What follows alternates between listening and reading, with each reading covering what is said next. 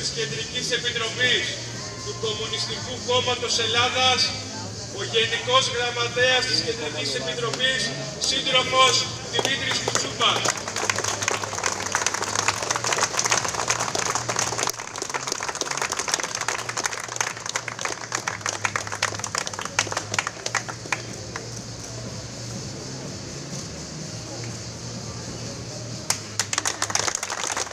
εκ μέρους του Κομμουνιστικού Κόμματος Εργαζόμενων Ισπανία, ο Γενικός Γραμματέας, ο Άστορ Γκαρσία.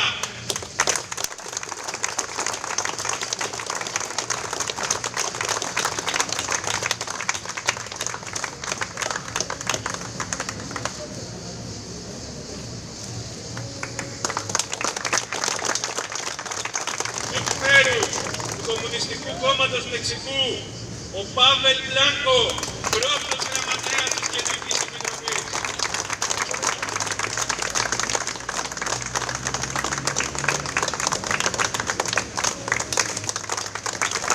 Εκ μέρους του Κομμουνιστικού Κόμματος Τουρκίας, ο Γενικός Γραμματέας Κεμάλ Οχουγιάν.